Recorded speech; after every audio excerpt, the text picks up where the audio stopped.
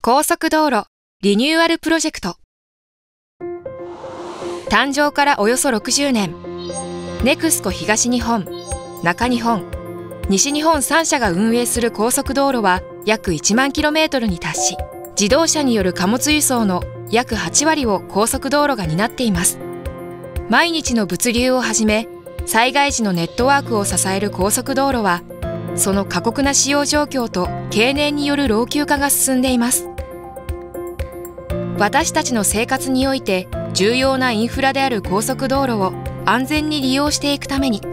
これまでのリニューアルプロジェクトでは橋梁小板の取り替え工事やトンネルを補強するインバート設置工事など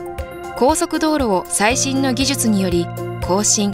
補修補強することで機能維持性能強化長寿命化を図ってきました。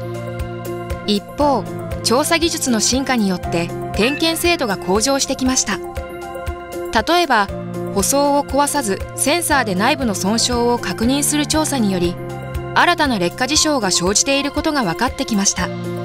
また近年実施した舗装の改作調査の結果今までとは異なるアスファルト路盤部にひび割れが見つかり新たな損傷メカニズムが分かってきました。舗装は表層から路盤まで4層に分かれています。これまでは交通荷重による表面の損傷を繰り返し補修していましたが内部からもひび割れなどが発生し舗装が壊れていくことが分かりました。新たな補修工法では損傷した部分を耐久性の高い新しい材料に取り替えることで舗装の長寿命化が期待されます。また耐久性に優れているプレストレストコンクリート橋もコンクリート内部の鋼材に腐食が進行していることが分かりました。従来のコンクリート橋の施工技術では鉄筋よりも高強度な PC 鋼材と言われるケーブルが入った管路に錆を防ぐ防水剤を充填する際空洞が生じることがありました。近年では超音波を用いた内部調査など進化した調査技術の導入でこの空洞が発見できるようになったのです。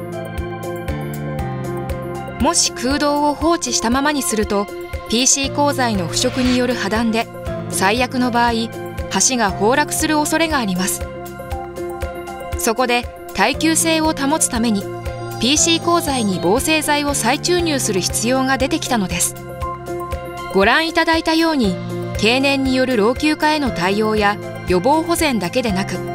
新たな劣化事象への対応など高速道路リニューアルプロジェクトはさらなる取り組みが必要です。地域活性化スピーディーな医療機関へのアクセススムーズな物流災害対策といった安全安心な暮らしを次の世代につなぐために。